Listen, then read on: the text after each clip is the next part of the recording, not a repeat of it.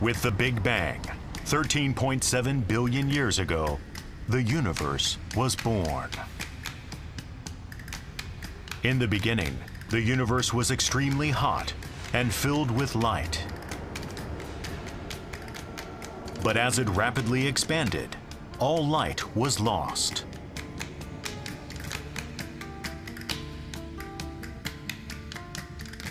In the pitch black universe, only gases floated by, and not a single shining star was to be seen. How did this total darkness become the light-filled universe that we know today? So the end of a dark age uh, occurred when the first fluctuations, the first overdense regions, stopped expanding and contracted and somehow turned into the first star. Light was introduced to this dark universe for the first time. This change was brought about by the celestial bodies known as the first stars. It's thought that these first stars can be seen 13 billion light years away. Now scientists around the world are vying to catch a glimpse of them. They were first in the universe. They were the first objects in the universe. And actually their existence changed everything. What kind of stars were the first ever stars in the universe? What effects did they subsequently have? These first stars that transformed the dark universe, filling it with light.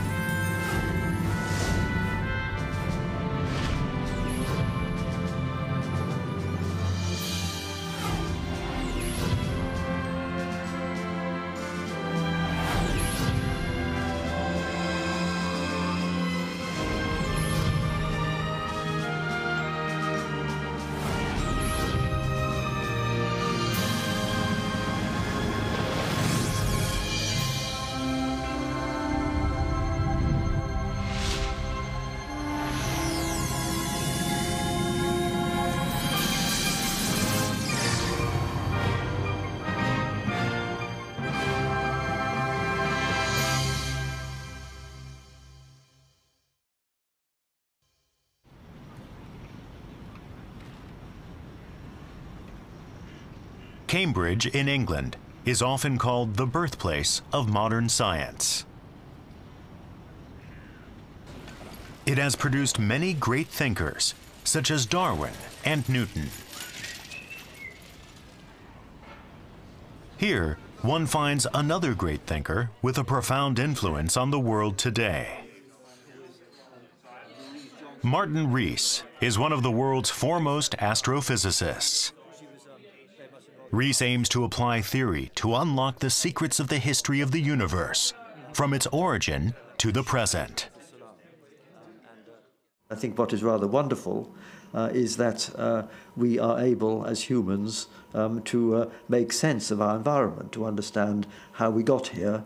Uh, obviously, Darwinian evolution here on our planet, but we are able to put our planet, the Earth, in this wider cosmic context, to trace it right back to the origin of the solar system, the origin of the galaxy, and right back to the first tiny microsecond of the Big Bang that set everything going.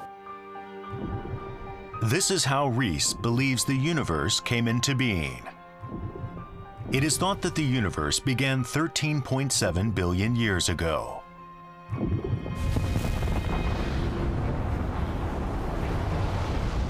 It all began with the Big Bang.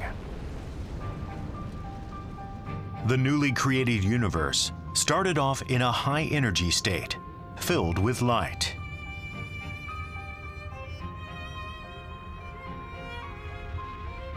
This was the age of light.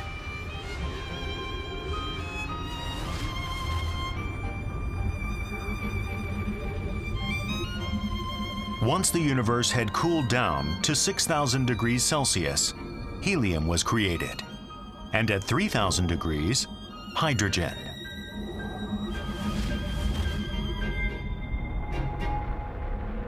Temperatures continued to drop. The universe became filled with just hydrogen and helium. As time passed, the visible light that had once filled the universe gradually stretched to longer wavelengths, and by around 500,000 years after the Big Bang, there was no light left that could be seen. This marked the end of the Age of Light and the beginning of the Dark Ages, according to Rees. Let's turn back the clock from the present to the beginning of the universe, 13.7 billion years ago.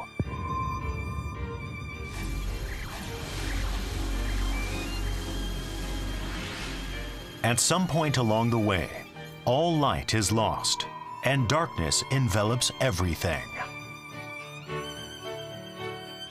How long these dark ages lasted and how they ended remain shrouded in mystery.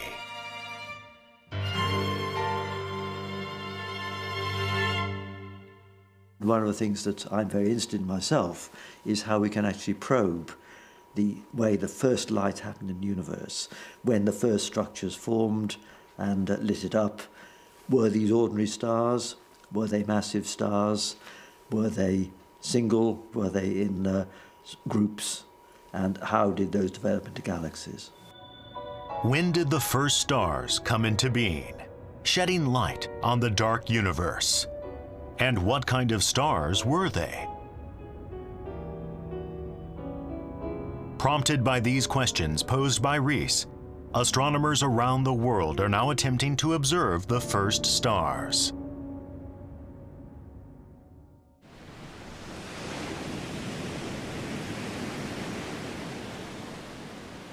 One scientist is trying to observe the first stars directly.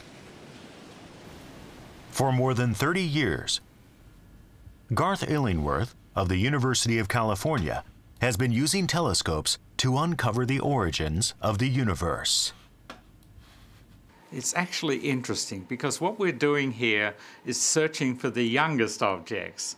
And so, with astronomy and our telescopes, what we can do is look back in time. To look at the distant universe is to look at the past. Light emitted at a certain moment in the past travels at the speed of light. As light travels, time continues to pass. And so what the observer sees at a distance is not the present, but in fact, the past. In other words, when we see a star that is 10 billion light years away, we are actually seeing how it looked 10 billion years ago. It's exciting to be looking out to the earliest possible times. You know, one of the things that is behind all of what we do is trying to understand our place in the universe. And so, as a person, I think I come to this with a desire to really understand our origins. Back when Illingworth began his research, the largest telescopes were the ground-based 4-meter aperture telescopes. At the time, he and his colleagues focused on galaxies, the huge gatherings of stars, to observe the universe as far away in distance and therefore in time as possible. In 1990, this was the most distant galaxy that could be observed at the time. Observed at a distance of 7.8 billion light-years away, it showed how the galaxy appeared 7.8 billion years ago. Yet this was still just half of the universe's 13.7 billion year history. It was around this time that the Hubble Space Telescope was launched.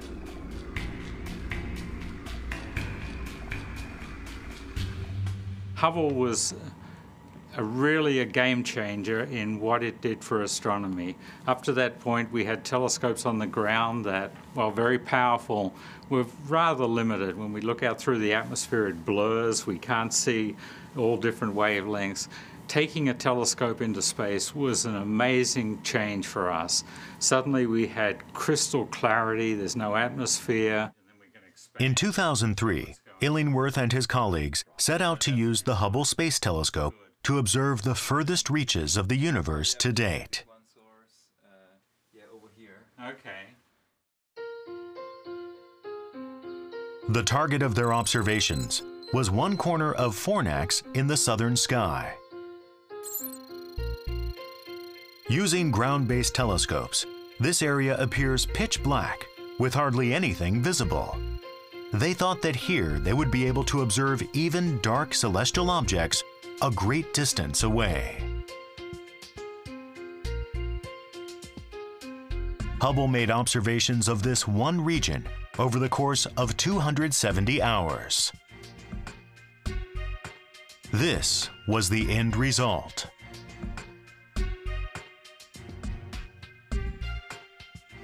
Ten thousand galaxies of varying sizes had been captured.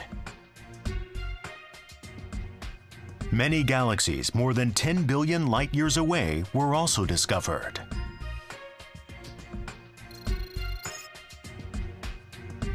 The Hubble Space Telescope has allowed humans to capture with such clarity the universe as it was 10 billion years ago.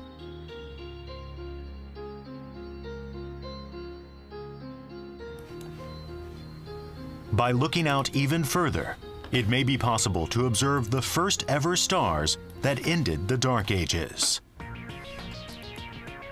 With this in mind, Illingworth set out to somehow find a way of observing the most distant celestial objects. The method he came up with was the layering over of images.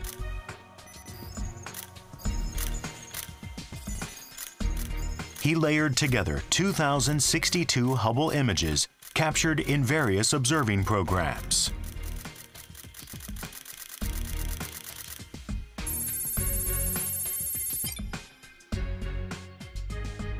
In September 2012, an image was produced showing the darkest celestial object ever captured.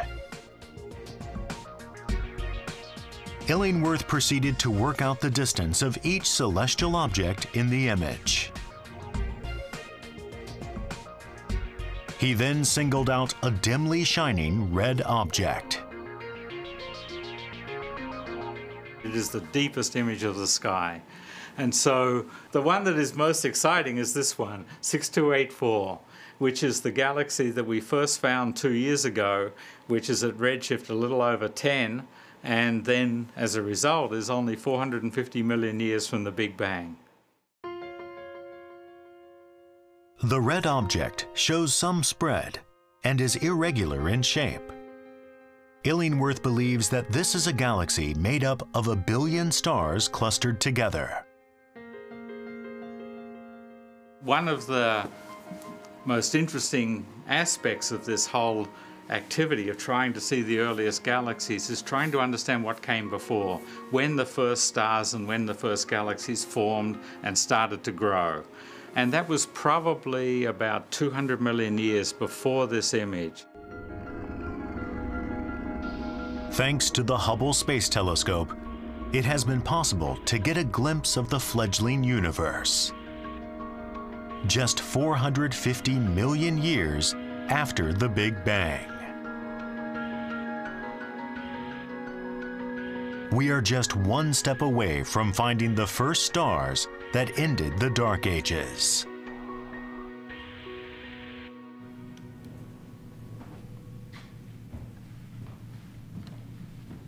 Looking into the distance is not the only way of searching for the first stars.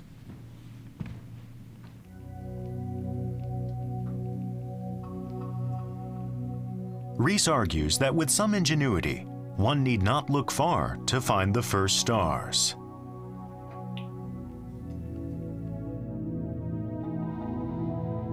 Rees believes that among the first stars born more than 13 billion years ago, a few still survive, continuing to shine.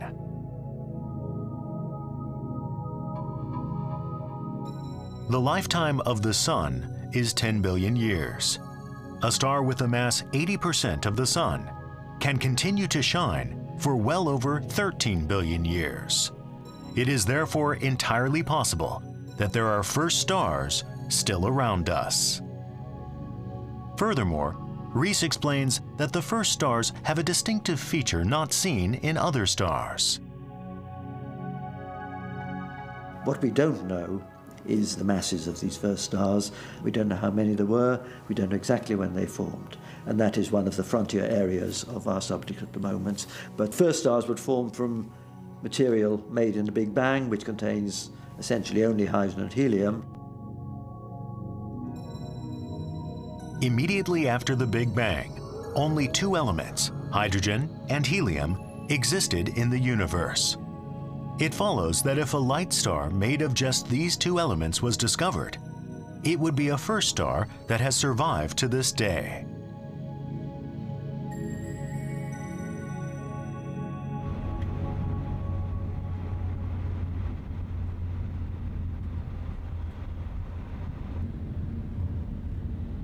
One scientist is seeking to prove this theory by seeing if there are any surviving first stars near us.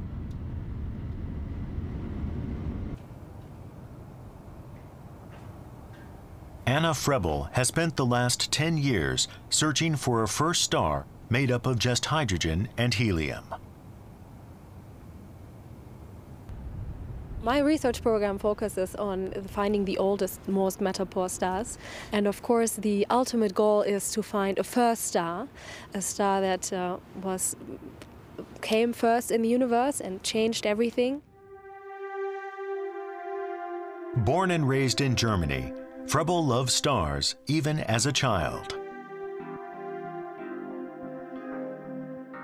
On becoming an astronomer, she came across the concept of searching for first stars and has been absorbed by it ever since.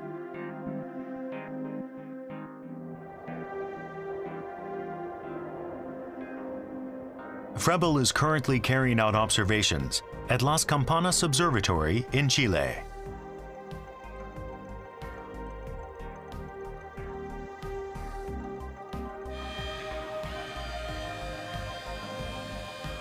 She is aided in her search for the first stars by this telescope with its 6.5 meter aperture.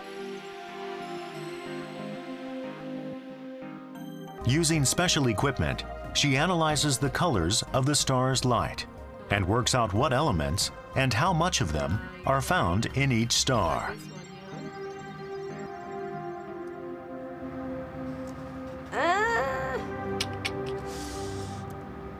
Can we go to target number eight, please?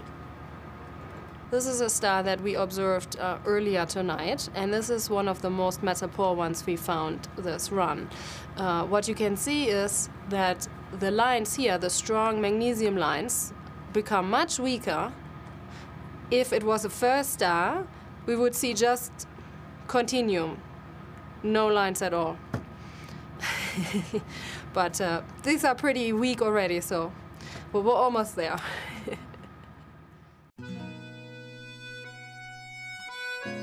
Frebel can only make observations with this telescope 10 days of the year.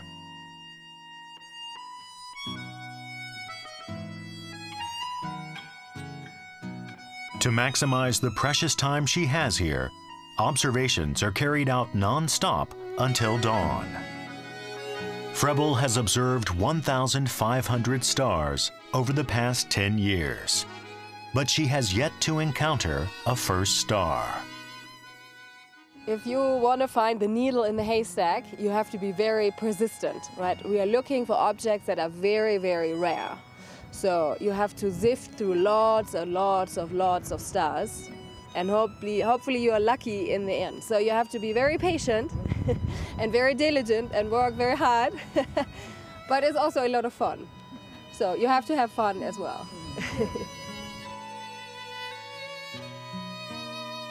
Somewhere in this starry sky, a first star is shining, waiting to be found. It can only be a matter of time before it is discovered.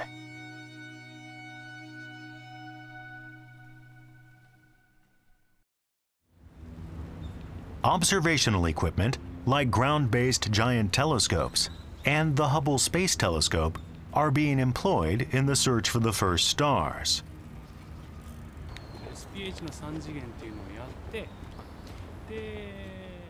The University of Tokyo's Naoki Yoshida, however, is approaching the problem with a method that does not involve making observations.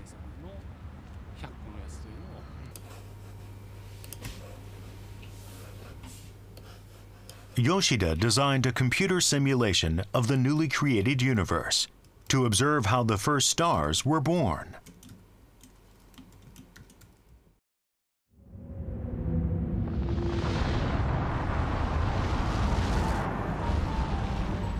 Just 380,000 years after the Big Bang, intense light was emitted all over the universe.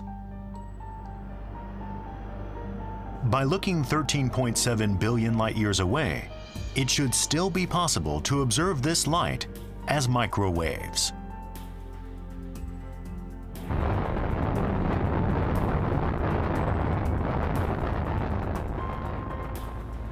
In order to observe this light directly, the WMAP satellite was launched.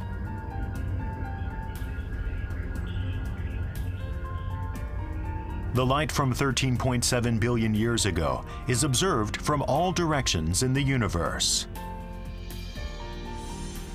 By measuring the differences in the intensity of the light, it is possible to find out how matter was distributed throughout the universe at the time. This is how the primitive universe looked at 380,000 years old. The red spots show regions of low matter density, while the blue spots indicate high density.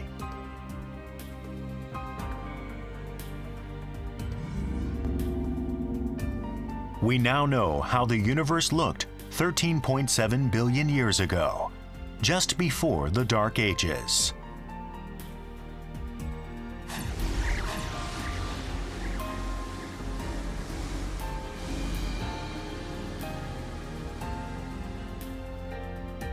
With the starting point established, it's time to turn to Yoshida and his computer.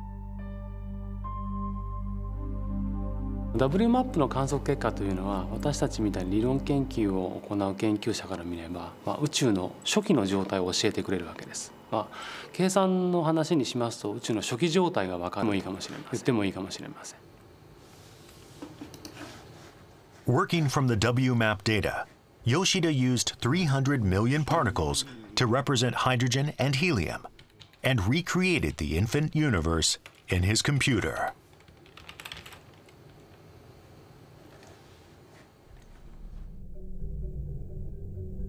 What looks like smoke are actually particles. The laws of nature that function between the particles should remain the same today as they were 13.7 billion years ago. Using 107 formulae, including the equations of fluid dynamics that govern the motion of gas, Einstein's equations for the expansion of the universe, and the equations for the chemical reactions of hydrogen and helium, Yoshida made accurate calculations of the particles' behavior. This is the young universe as recreated by Yoshida's computer. It shows, for the first time, how the Dark Ages looked.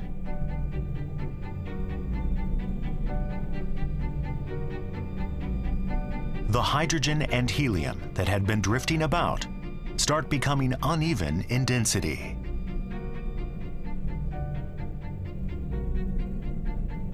The gases begin to gather together under their own gravity and create a spider web-like structure.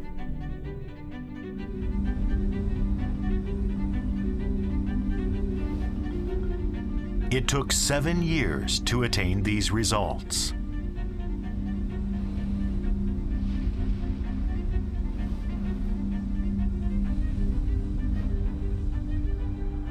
A spherical mass of gas has been formed, but no first star yet.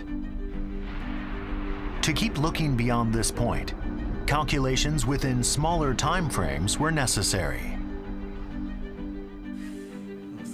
And so three years were spent developing a new model to recreate what happened at the center of the clouds of gas. These are the results. The onion-like structure shows the density of gas. The density increases towards the center of the mass. Here's what happens as time passes. The density of the gas at the top and bottom decreases. Meanwhile, the gas at the sides does not decrease in density. The gas flows into the center, and the core becomes increasingly heavy.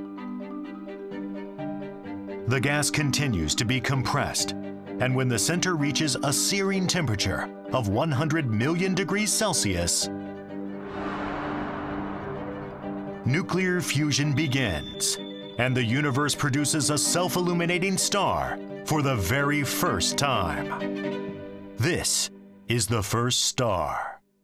私たちのシミュレーションで明らかになったことはその宇宙の始まりの頃に存在した水素とヘリウムだけからなるガスから確かに星が生まれましたでさらに計算を進めますとどうもその星は、まあ、質量にしますと太陽の40倍から50倍ぐらいの非常に大きな星であるということが分かりました Yoshida's calculations showed that many of the first stars were massive stars that emit an intense blue-white light. They weigh 50 times the mass of the Sun. And they are an outstanding million times brighter. Heavy stars burn up quickly, and so they only live a few million years.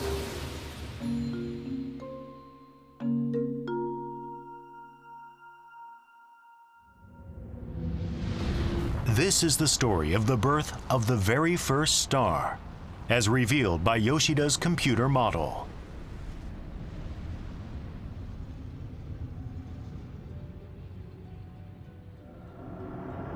Three hundred eighty thousand years after the Big Bang, an intense flash of light was emitted all over the universe.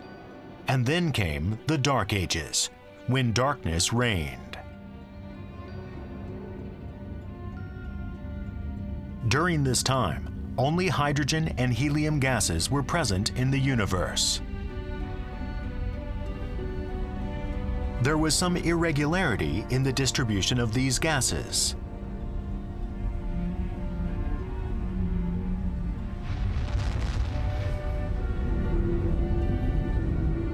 Gas was drawn into the denser regions by gravity, creating a cloud of gas.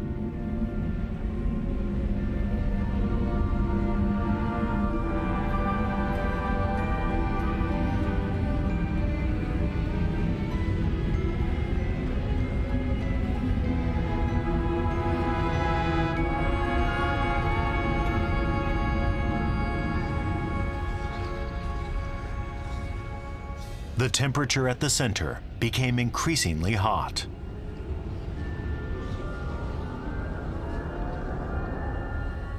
When it reached 100 million degrees Celsius, nuclear fusion began, blasting off the surrounding gas.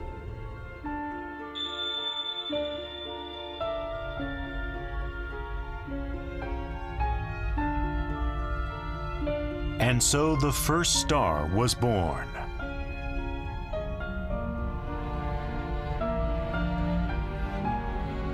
The temperature of the bright blue surface is 100,000 degrees Celsius. Its brightness, a million times that of the sun.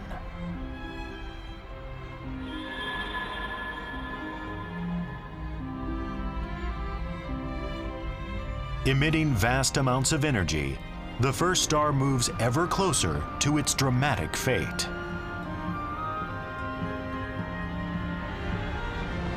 A few million years have passed since its birth. the star bursts in a huge explosion and it comes to the end of its life.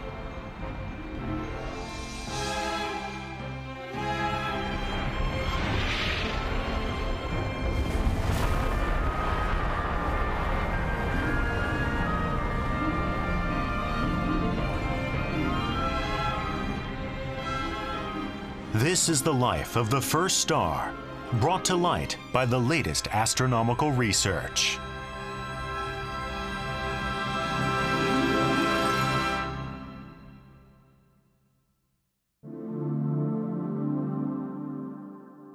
Yoshida's calculations have revealed the spectacular ending to a first star's life. The explosion lasts just a moment, but releases such an intense burst of energy that it may be possible to observe it, even if it happened more than 13 billion light years away.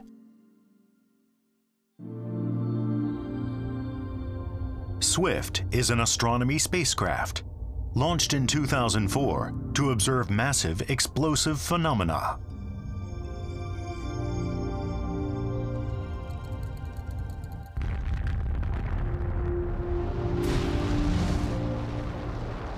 When a huge star like a first star explodes, it emits intense electromagnetic waves called gamma rays. This phenomenon is known as a gamma ray burst. By detecting the abrupt appearance of gamma rays, SWIFT can seek out the massive explosions of stars. On April 29, 2009, SWIFT detected a five-second long gamma ray burst in the constellation Canes Venatici.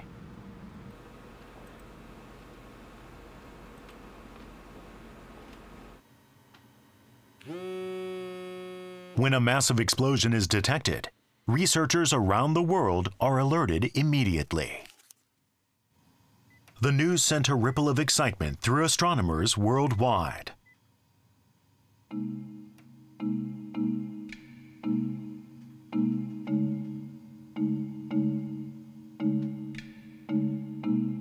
Among them was Antonino Cucchiara, who was a student at Pennsylvania State University at the time we needed uh, to act right away. Um, the main reason for that is because we had access to Hawaiian telescopes, and uh, I was in the East Coast already. was in night, so it was uh, sunset in Hawaii. So the night was just started.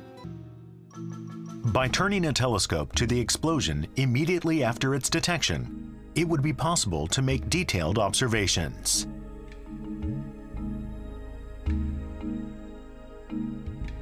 At the time, Cucchiara was in Pennsylvania on the east coast of America. The telescope was in Hawaii, 8,000 kilometers west, with a time difference of five hours.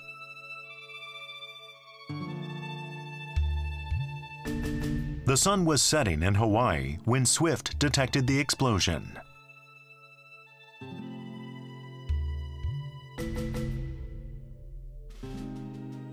at the Gemini Observatory on the 4,200 meter high summit of Mauna Kea.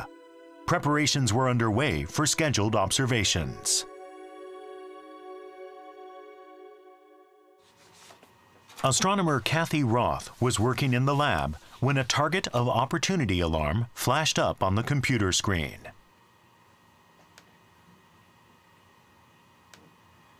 Attention, target of opportunity.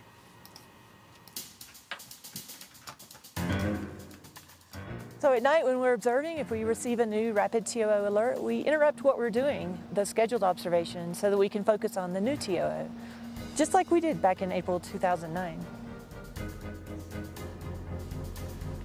Roth stopped what she was doing in order to help with the target of opportunity observation.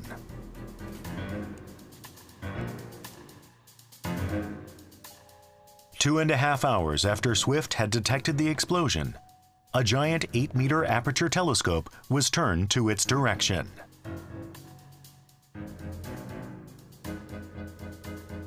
The observations were carried out for 15 minutes.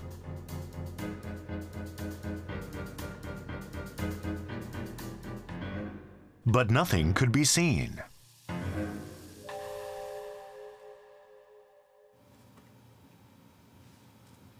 It was this blank image, however, that excited Cucchiara. If you don't see anything in your optical images, uh, it's already a sign that this object can really be one of those most interesting ones. So it was really exciting. Everybody was excited. Light emanating from the distant universe of the first stars has its wavelength stretched by more than 10 times under the influence of cosmic expansion. This has the effect of changing the light into infrared waves invisible to the human eye. In other words, if this were a first star explosion, it wouldn't be visible as ordinary light, but only as infrared. I think it was like 3 p 3 a.m. in the morning at that point. So uh, it was kind of interesting because at that point my colleague in Europe in UK were well awake. Uh, so we coordinate. I coordinated with them. Uh, we decided to go with uh, another set of observation, the infrared. Roth, meanwhile, was busy in the control room. This is the raw acquisition image in the R band, and this is the finding chart. What you would expect is you would see an object here, which I don't. I don't see anything there. So we zoom in a little bit to look a little harder, change the stretch, but uh, I still don't see anything here. So then, if you take an image in the in the infrared, however, K-band in this case, then you start to see there is a faint object there. If this explosion had occurred more than 13 billion light years away, it's possible that it was a star from more than 13 billion years ago. In other words, a first star. To calculate the accurate distance from the exploding star, Cucchiara decided to carry out a third set of observations, using equipment that analyzes the colors in light.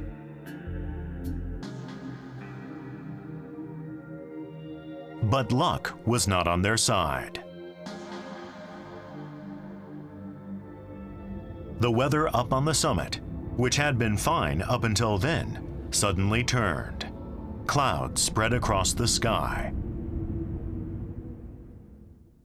Actually, I think it was a phone call from one of the telescope operators uh, saying, um, I'm sorry, but the clouds just roll over.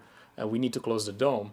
And we were like, okay. I mean, we, we were like, it was really interesting, and but there is something we don't have power on, and uh, that's the weather. The next day, the telescope was turned to the same spot again. The light was too faint, however, to carry out the intended observations.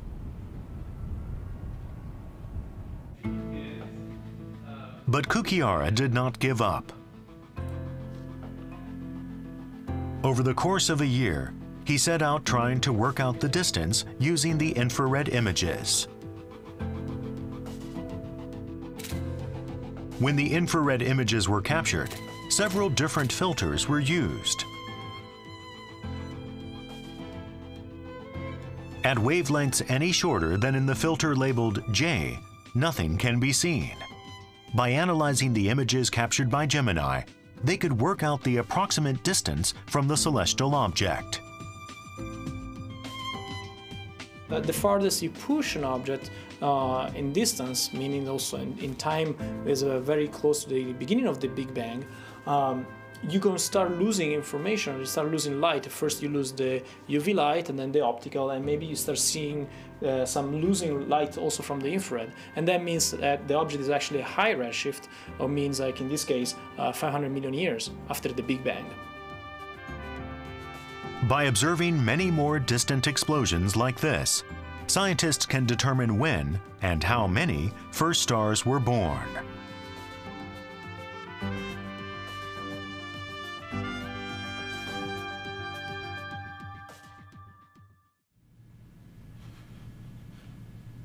Martin Rees believes that the appearance of the first stars transformed the course of history for the universe.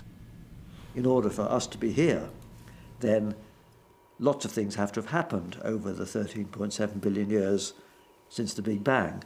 The first stars have to have formed, and they need to have uh, led to nuclear fusion, transmuting primordial hydrogen and helium into elements like carbon, oxygen, and iron. The first stars were born out of just the hydrogen and helium that existed in the universe at the time.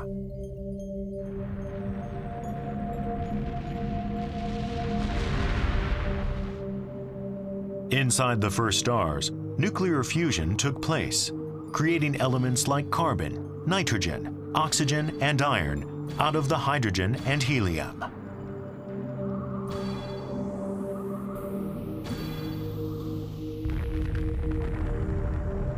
When the first stars meet their demise in an explosion, these elements are scattered throughout space.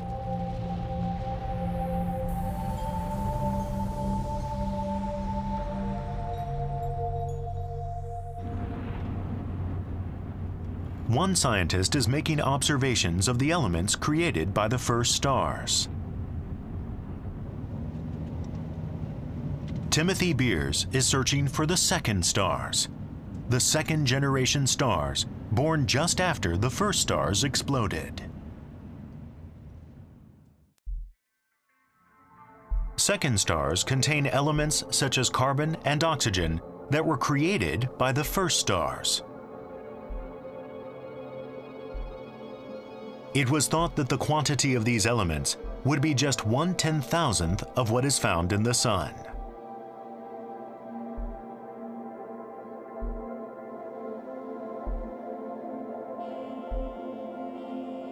Beers hopes that by investigating the quantities of elements found in stars, he will be able to find the second stars. In order to make the search more efficient, he employed a special method. The technique is called objective prism. By placing a giant prism in front of a telescope, the light of each star that had looked like dots appears as thin bands of rainbow colors. This is the spectrum created when sunlight is put through a prism. A closer look reveals faint black lines among the rainbow. These are caused when the elements contained in the sunlight absorb certain colors of light.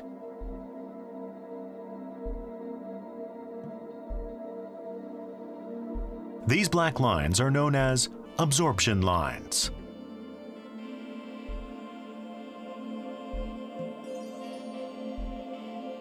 The sun produces so many absorption lines because it contains huge amounts of many different elements.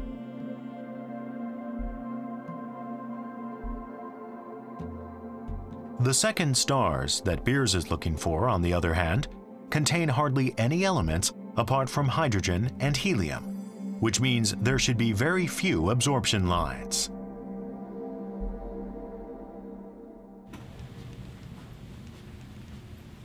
Beers used two telescopes in Chile and America to capture a total of 340 photographs.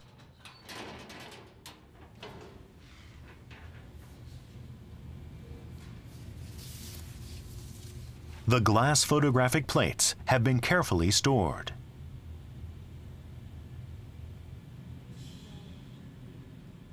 Each glass plate depicts 10,000 stars.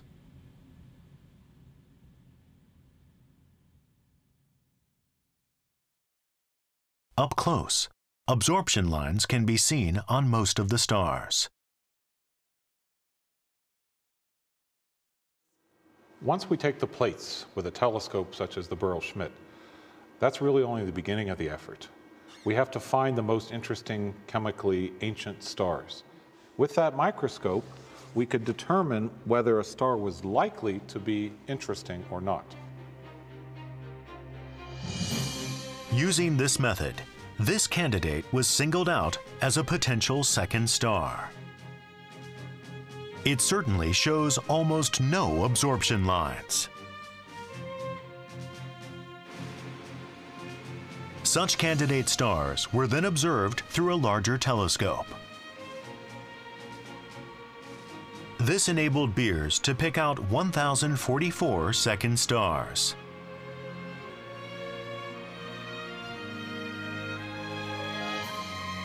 This is a star located in Pisces. Its iron levels were found to be one ten thousandth of those of the Sun, which allowed Beers to conclude that it was a second star.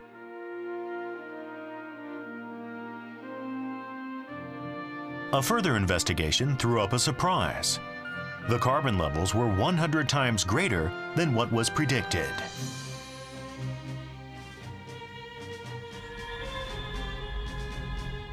The first stars had produced a great quantity of carbon, which had then been passed on to the second stars. One of the most exciting results of the last two or three years has been the recognition that the first stars produce very large amounts of carbon, nitrogen, and oxygen, the three fundamental elements without which, as far as we know, no life can be formed.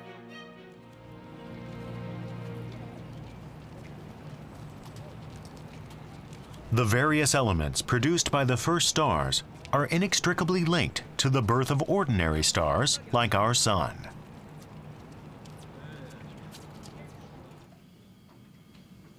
This is the theory put forth by one researcher.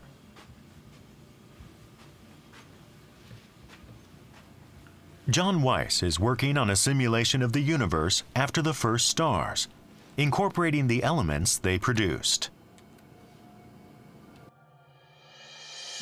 According to Wise's simulation, the first stars themselves did not cluster together to form galaxies. A few hundred million years after the first stars were born, galaxies formed where the stars had been. How were these galaxies created?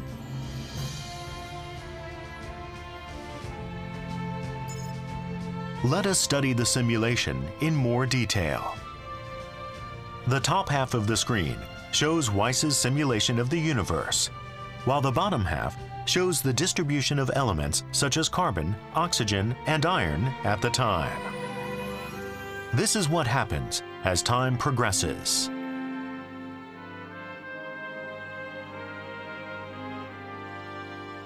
As the first stars explode, huge volumes of elements are scattered in certain areas. A multitude of stars are created where there are high concentrations of elements, giving rise to galaxies.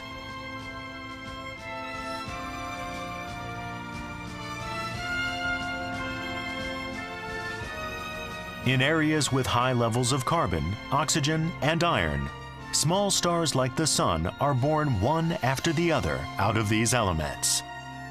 Wise believes these were the beginnings of the galaxies we see today.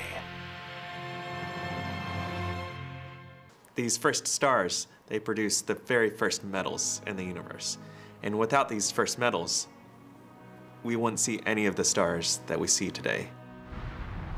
The explosions of the first stars changed the universe irrevocably.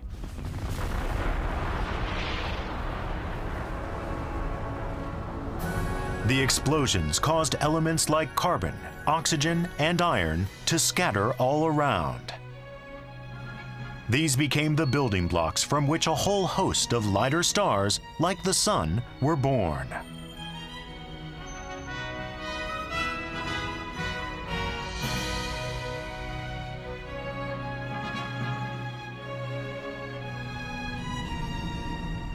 These stars clustered together, forming galaxies.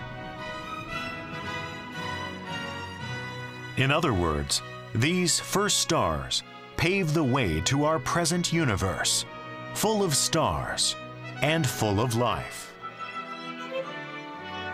The first stars brought light to a dark universe.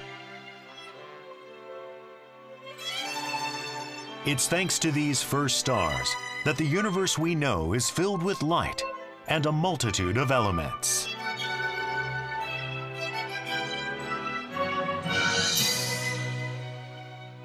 Stars like the Sun, and life forms like ourselves can all be traced back to the first stars.